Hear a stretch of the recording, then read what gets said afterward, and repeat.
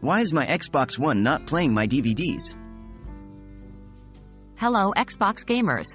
Today, we are addressing a common issue that some Xbox One users might have encountered, not being able to play DVDs. Let's unravel the mystery together and get you back to enjoying your favorite DVDs in no time. Is your Xbox One properly set up? Firstly, make sure that your Xbox One is correctly set up. Check the basics. Is your console connected to a power source? Is it properly connected to your TV using an HDMI cable? If these elements are in place, we can then move on to the next potential causes. Is your Xbox One's DVD region correct?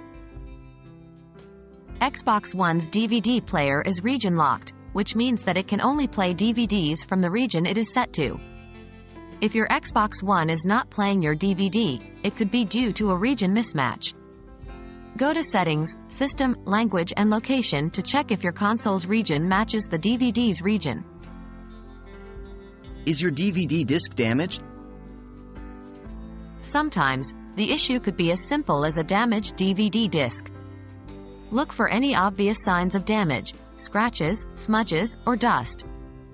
If you notice anything, Try cleaning the disc gently with a soft, lint-free cloth. Could it be a console software issue? There might be a chance that your console software is causing the problem. Try updating your Xbox One software to the latest version.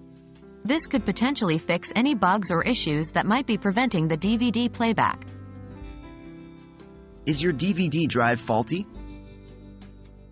In some cases, your Xbox One's DVD drive might be the issue. If your Xbox One can play games but not DVDs, or if it makes unusual sounds while trying to read the DVD, the DVD drive could potentially be faulty. In this case, you would need to contact Xbox support for further help. These are some of the common reasons why your Xbox One might not be playing your DVDs. We hope this guide helps you get back to enjoying your DVD collection on your Xbox One. If you're still experiencing issues, remember that Xbox support is always there to help you out. Happy gaming!